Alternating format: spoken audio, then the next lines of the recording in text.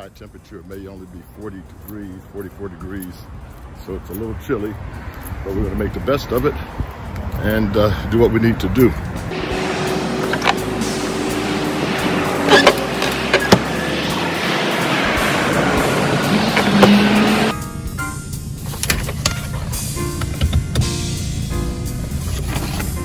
I was asking. This is Jeff Jocelyn, who I met, fellow actor on the job, who has written this fantastic book, Pick Me, Pick Me, and had a lot of experience of the business that uh, we talked about as we waited for the shuttle to take us to It's just location. questions, 31 questions. And so, because everybody was asking me this, so I put those questions in the book. And um, Let you guys know how encouraged I am to hear his story about, you know, getting into this business and doing this business and uh, not really having a whole lot of experience uh, to do it, you know. And so anyway, it's been a real pleasure. And that looks like this. And she's in charge of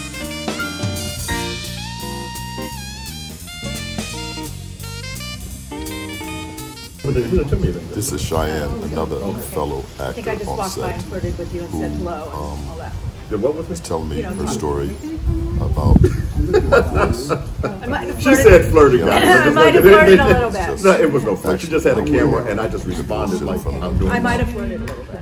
Even though, even though I know you're happily married. The thing about it It was is, harmless. the thing about it, I didn't know this. You know, I'm so embarrassed.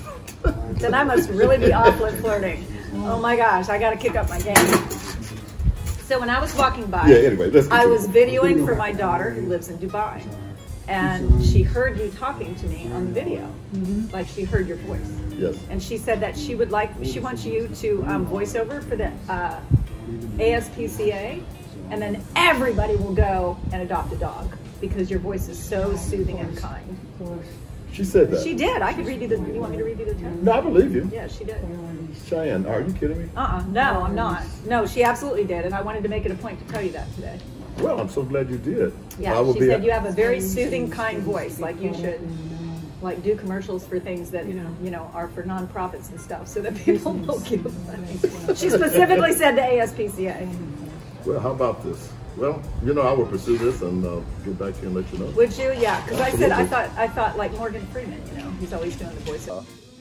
Commercial wife, Hi, Thomas. uh, Ingeborg Hendricks, Hendricks, right? Yes. Hendricks. And uh, so she's going to be playing uh, my. Sorry, I Uh, was chewing. Sorry. Oh, we should probably, anyway, anyway, we'll take Yeah. it from there. So anyway, she's uh, going to be playing my wife for this uh, commercial Aren't they cute? Uh, I couldn't not disagree. So how's, how's your morning going?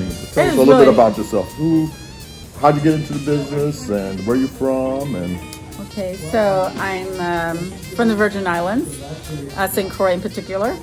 And so, um, yeah, I got in this business a long, long time ago. Gosh, over 20 years ago. really? Yeah, so I've been in business a long time. I love it.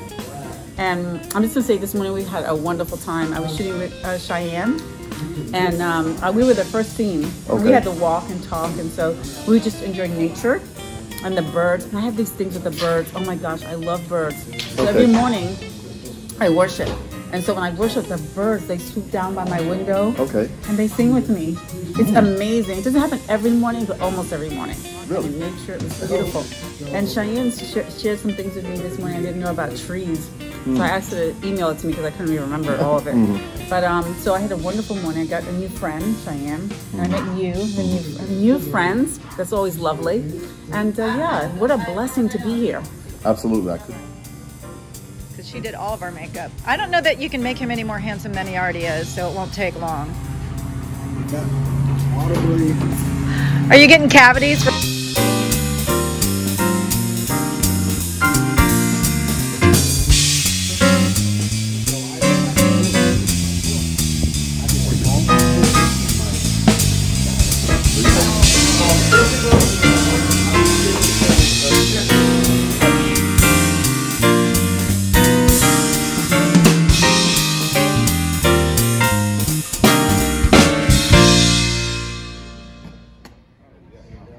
things about being on these sets here, the food is usually pretty elaborate and diverse. So we had some chicken they wanted that. salads there. So David Whitman. from Channel 19 Action News. There you go. Back in the day. So David discovered I was an Ohioan with my OU Bobcat jacket on today. And of course, we had a chance to speak. And David is from Cleveland Heights and went to St. Ignatius High School and uh, lives here in Orlando. Well, we're in Jacksonville now, but he's from Orlando and uh, he's a part of our talent today. Yeah, in quotes. in quotes? Yeah, just talent. in quotes, You know, talent. yeah, gotcha. yeah. But it- yeah. So anyway, um, thanks, David, for taking the time to speak to my fans. on Sure. Our blog here about uh, acting life and just a day in a life. Well, this is a fun trip. Uh, we're up here in Jacksonville, uh, filming for an undisclosed client at an undisclosed location. It's all good. Somewhere in Jacksonville. Yeah. Uh, nothing, uh, nothing underground, nothing bad. It's Right. all, it's all good. It's Yeah. all uh, PG. Yeah, there you Right. go. Right, right, Yeah. right, right. So anyway, guys, uh, thanks for watching, and uh, David, thanks for taking time to uh, do this interview for my blog. And you too, East Cleveland.